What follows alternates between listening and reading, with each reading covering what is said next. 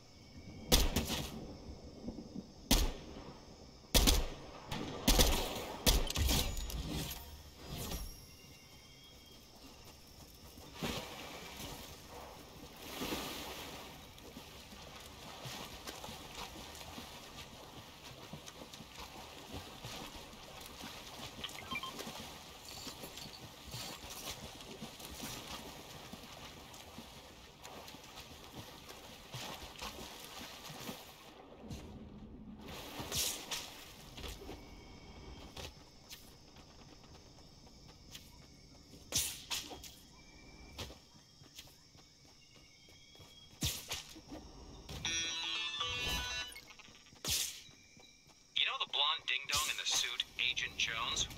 Well, there's more of him. And they've started their own society of dorks. So, how about bring them some supplies as a peace offering, and then scout their camp to assess the threat level?